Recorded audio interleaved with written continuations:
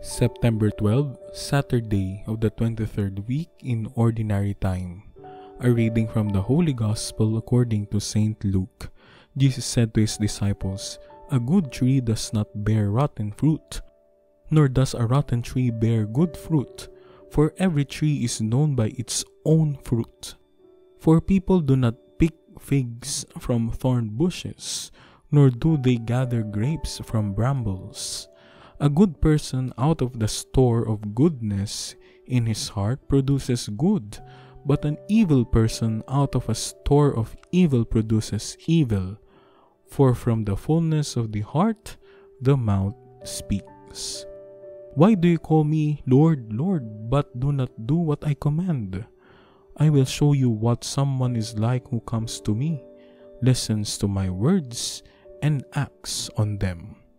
That one is like a person building a house who dug deeply and laid the foundation on rock. When the flood came, the river burst against that house, but could not shake it because it had been built well. But the one who listens and does not act is like a person who built a house on the ground without a foundation. When the river burst against it, it collapsed at once and was completely destroyed. The Gospel of the Lord.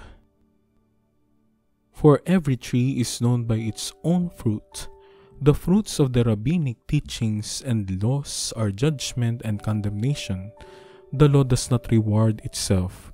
It serves simply as a standard or norm, whether the person who abides by it is faithful to the covenant these regulations and stipulations of the law serve like traffic rules to discipline the person on the ways of righteousness.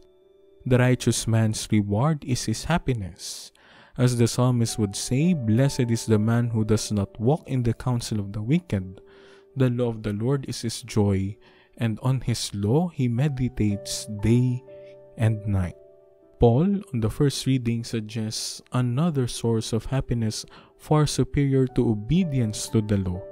The cup of blessing that we bless, is it not a participation in the blood of Christ? The bread that we break, is it not a participation in the body of Christ? Union with the lawgiver is loftier than simple obedience to the law. The reward of the kingdom of God is greater than compliance with the rules and regulations. Following Jesus, the source of the law, eventually leads us to the kingdom of God.